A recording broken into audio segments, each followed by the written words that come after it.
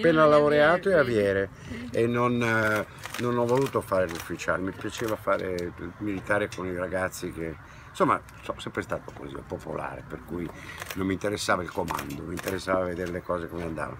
Alle casalmente sono stato benissimo. A parte che eh, probabilmente sono stato anche fortunato. C'erano degli ufficiali molto bravi. Ricordo che mangiavo benissimo al casale. Ogni tanto uscivamo in un'uscita la canna era eccezionale, il brasato, tutto, le gagnolotti. I crumiri. Era, era, I crumiri non parliamone.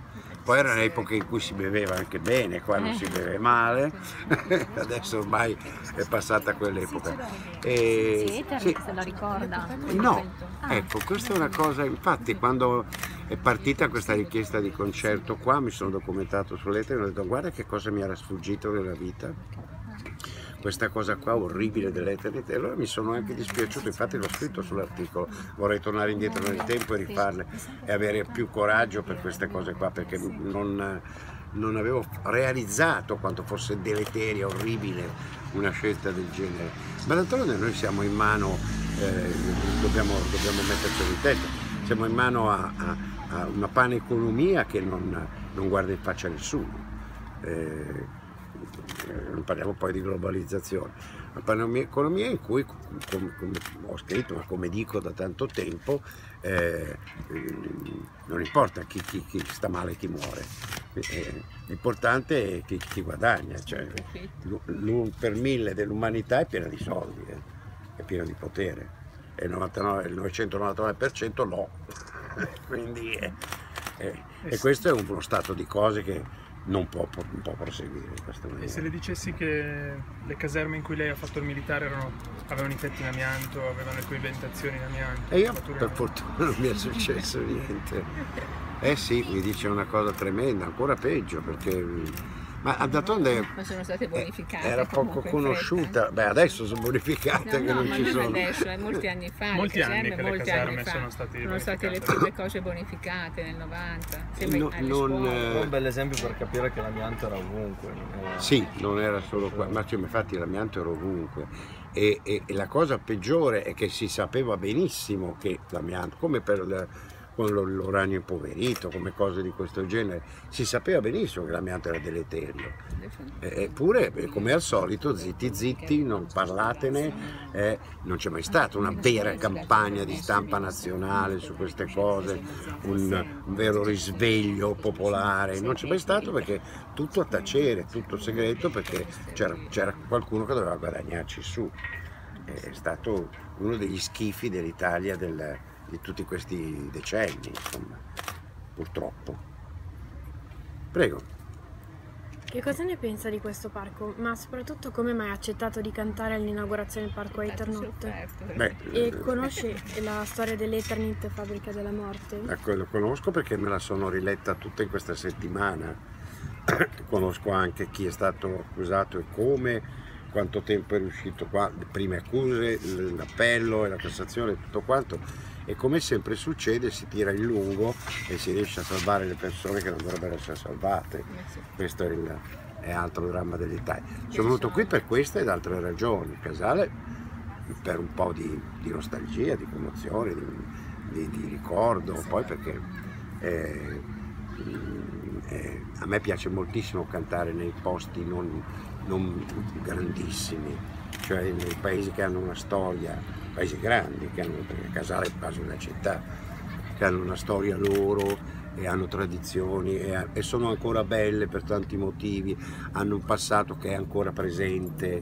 Ecco, queste cose qui mi piacciono. In Italia per fortuna ce ne sono tanti di posti così e quindi l'ho, accettato con piacere. Poi questo particolare spettacolo è uno spettacolo sulla felicità e che quindi mi serve credo molto a Casale, oltre che a me. È, è- è uno spettacolo che parla de- di come ho spiegato la felicità ai miei figli e come ho tentato di dirgli che non bisogna mai abbattersi, insomma, che Certo. anche quando non la vedi c'è, insomma, c'è nelle persone, c'è nel futuro, no, se no, se uno si abbatte è finita. Eh. Poi avete un sindaco coraggioso che, che è riuscito a, a estirpare anche dei soldi a Renzi, anche se sono bloccati là e prima o poi c'erano usciranno. dati, c'erano andati, ma E quindi c'è un bel coraggio, una bella forza. Ci ha mandato delle belle parole, appunto, dicevano prima la stampa. Potrebbero diventare in un futuro una canzone? C'è questa Sì, ma perché no? Perché no? Non tema forse eh, preciso della canzone, Sì. ma parte del tema di una canzone, perché quello è un tema di canzone, Mm. Cioè la dabbenaggio, la, la crudeltà umana e la ehm, vo- anche eh, conscia di quello che avviene, sì, perché quella è la È per quello che drammaticità. sono criminali, perché sono assassini, perché, Perché uno lo fosse, sapevano. fosse inconscio, io ho messo un inconscio nell'articolo, anche se qualcuno è inconscio mi spiace, Vabbè, ma quelli sono- sapevano benissimo come andare a fare. E, e il tema della canzone è quello, voi che sapete, insomma, è proprio quello il tema. E, e vi nascondete, e, e questo è il, il- il- e quindi il casale rientra come altri posti, come ho detto, come il fango di, di Genova, dove si costruisce, eh, come purtroppo le, le case mal costruite, non per colpa dei cittadini, chiaro, in, in- in Appennino, eh, sono tutte provocazioni del, non dovrei dire del capitalismo, ma lo dico perché in realtà è- sono colpe del capitalismo queste. Io ho in mente una sua canzone che si può adattare, che racconta molto della storia dei casalesi e dei Monferrini che hanno vissuto la tragedia dell'amianto. Ho conosciuto il dolore.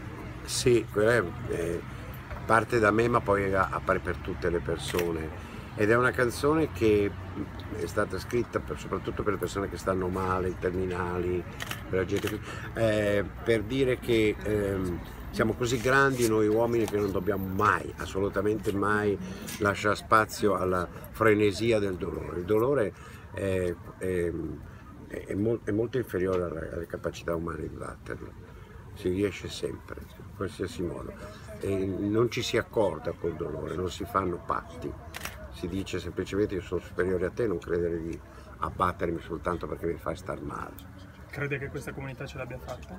Io penso di sì, ma anche altre comunità ce l'hanno fatta e che conosco, che sono andato a visitare e anche soltanto con i propri mezzi, questa è la cosa più, più- anche sconvolgente se dico, devo dire la verità, perché nessuno si mette in testa a Roma o da qualche parte di venire ad aiutare. Ah guarda quel caso là bisogna metterlo in prima. No, no, sì. bisogna proprio avere dei vigilantes interni che vadano a svegliare i sonnolenti. E questo non accade solo per casale. Eh. Crede Accade- che, il, scusi, crede che il parco sia un'idea efficace per dimostrare che dalla morte può nascere mm, qualcosa di nuovo dalla vita? E, e, e direi che è una, una metafora meravigliosa, è perfetta, no? Stritolare il cemento e l'amianto e far crescere l'erba, il prato, i fiori. Le piante sono giustissime, un monumento vivente vegetale è molto meglio di un monumento fatto di marmo o altro, perché qui questo è, la vita vuole vivere. Questo è tanto di, di un mito meraviglioso, è proprio un mito greco questo, è il mito dei giardinetti di Adone, cioè eh, muore Adone, eh, però le siracusane, tutte le donne della Magna Grecia lo piangono in un periodo preciso dell'anno, quando nasce la primavera, perché vengono fuori le piante. E tutte le donne di Siracusa, che sono naturalmente doriche, sono della Magna Grecia, mettono sui loro terrazzi dei, dei- dei vasi di fiori e di piante per eh, esorcizzare la morte del dio della bellezza, del sole, che è stato ucciso come l'umanità è uccisa dal cemento e dall'amianto. E lei come utilizzerebbe questo parco? Attraverso quali iniziative ci dia delle idee, insomma? Ah, ma su questo si può fare tantissime cose, soprattutto d'estate, a parte concerti, a parte le serate da ballo, non l'ho ancora visto, ma abbiamo l'auditorium ma qui dietro le nostre spalle, vedrà. si può fare Questo parco è una cosa tutto. molto simbolica. Quanto conta secondo lei una cosa un simbolo da parte Io parlo con voi che siete per studenti. combattere appunto il dolore? Io credo che i simboli siano fondamentali nella storia dell'umanità. Senza simboli non andiamo avanti.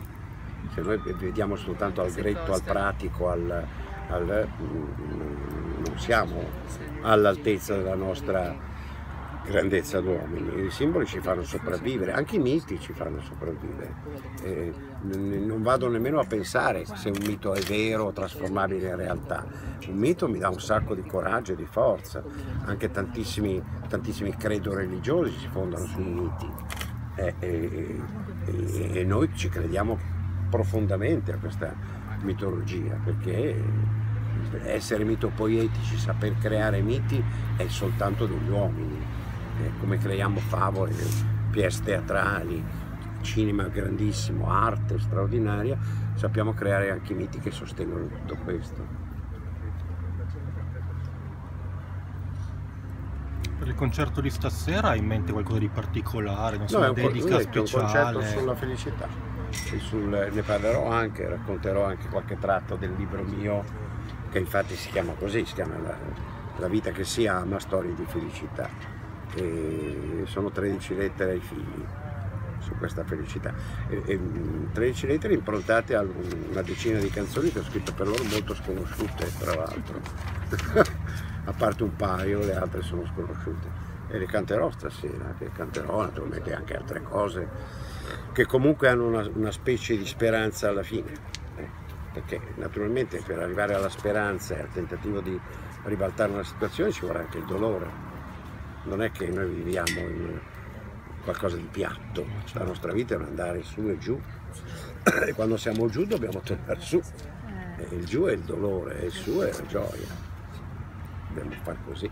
e gli amici che saranno con lei ci saranno, poi di quelli che si diceva forse eh, che avrebbero partecipato al concerto questa sera? Questa sera verranno degli amici, spero che ne vengano anche da, da più, a- più a ovest perché ne ho tantissimi in provincia di Cuneo, ad Alba, ad Asti, spero che ne vengano tanti. Poi ci sono i miei musicisti che sono i miei amici e sono bravissimi e, e- e poi veramente ogni volta che vado in un posto che mi solletica eh, l'emozione, la curiosità, sono, sono felice di poter cantare. Ci sono posti un po' più nebulosi, io poi sono fe- riesco a essere felice sempre, però particolarmente nei posti in cui mi trovo in, in sintonia con, con la gente, con i combattimenti, con le lotte, con, e con la, la gioia di vivere. Entrando in, in Casale ho visto il mercato, il mercato dell'antiquariato, le giostre, ho detto che bello, la domenica così, tutti quanti fanno qualcosa. eh. Ma si ferma qui questa sera No, a no, mangiare? torno a casa, io non riesco a fermarmi. Ah. no. Tante cose da fare, già domani, dopodomani, domani ancora, poi devo andare in Calabria, Sicilia, Oh, no. è molto lunga.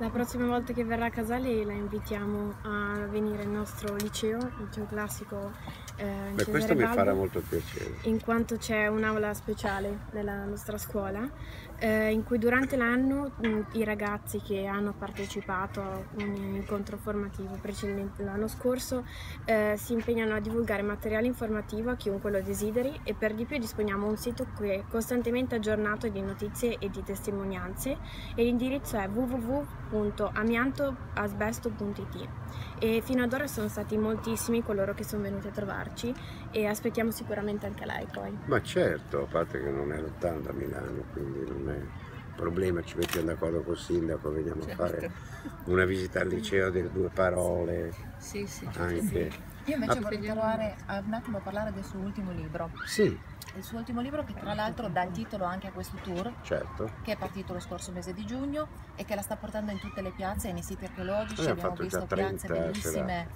Ecco, ehm, lei ha definito questo libro il più Sì, autobiografico certo. perché è dedicato ai suoi figli. È autobiografico perché eh, ho raccontato ai miei figli degli episodi piccoli, anche mm, mica successi o vittorie o premi. Esatto, esatto. Quelle cose lì le ho di eliminate. questo libro è proprio questo. Non si parla di premi, non si No, parla, né, un'autobiografia né di concerti, tranne tre righe, ma si parla soltanto di, di quelle piccole cose che fanno la vita, che Esatto. sono di tutti, quegli aneddoti che fanno anche ridere a volte, sono, sono ridicoli, ma che in realtà dal piccolo poi si espande l'umanità, l'um- l'umanità di un piccolo atto, di una piccola azione, di un piccolo incontro, eh, di alcune parole che sembrano al momento nemmeno tanto importanti. Invece poi a distanza di tempo vedi che si sono allargate, hanno fatto una mac- macchia d'olio, sono diventate molto di più, perché io sostengo da sempre che l'umanità più bella è, quella normale, non quella eccezionale.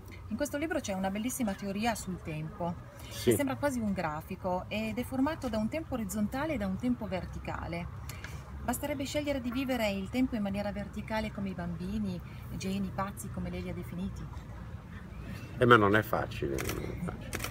noi siamo completamente assorbiti dal tempo orizzontale, cioè passato, presente e futuro, vediamo il tempo scorrere, abbiamo paura del passato, i ricordi sfuggono, il futuro pure ci fa paura. Invece il tempo verticale è, un- è prendere coscienza della propria capacità di batterlo il tempo. Il tempo verticale è un tempo dell'anima, non è un tempo che scorre, è un tempo che ti rimane direi fisso dentro. Passato, presente e futuro sono incolonnati e io dopo tanti anni so, so trattarlo questo tempo, perché i miei ricordi non sono lontani, sono vicinissimi, sono con me, mia madre, le persone che ho perso, tutti vicini, anche gli amori. Gli amori sono tutti costantemente dentro di me, anche il futuro lo vedo, lo sogno, lo penso in modo che mi sembra quasi presente. E questo è un modo per, per non aver paura né del, di, di guardarsi dietro né guardare davanti. Roberto Vecchione ha scritto canzoni bellissime Grazie, e ha scritto anche tanti libri. anche canzoni bruttissime. No, pensavo. vabbè, ma a lei piace di più scrivere o scrivere e cantare No, il mio canzoni? mestiere è scrivere canzoni. sì, sì. Mi piace scrivere, però io sono nato canzonettaro, o come dicono cantautore. Eh, è, è il mio genere, il mio genere è fare in 4-5 minuti una sintesi, eh, con alcune immagini. minuti c'è tutto. Sì. Poi Dio mi ha dato questa facoltà, questa capacità di scrivere velocemente e facilmente, per cui un libro anche in un mese, due mesi riesco a scriverlo, perché è quasi alla prima stesura, anche perché ce l'ho tutto in mente già. eh. Però è una fortuna questa, non è merito mio. Io ho tentato di aumentarla leggendo tanto, tentando di avere una cultura buona, parlando con tutti, e insegnando per 40 anni, perché dai ragazzi si, prende- si apprende tantissimo. E però il merito non è mio, è dei geni di mio papà e di mia mamma. So che lei insegna latino e greco. Che cosa ne pensa del fatto che oggi siano in molti a credere che queste due lingue siano morte e quindi inutili? Voglio No, dire, io da alunna Sciocchezza tremenda. Io da alunna mi accorgo che più procedo avanti con gli studi classici e più questi mi aiutino a ragionare, approfondire ed apprezzare il valore delle cose. Certo che è una bella sfida oggi. Sì, è una sfida, e- ma un altro non ti capirebbe. Cioè, mm, se tu fai un discorso di questo tipo a una persona qualunque dice ma a me non serve a nulla. E invece Gramsci, che era Gramsci che era un linguista oltretutto, diceva eh,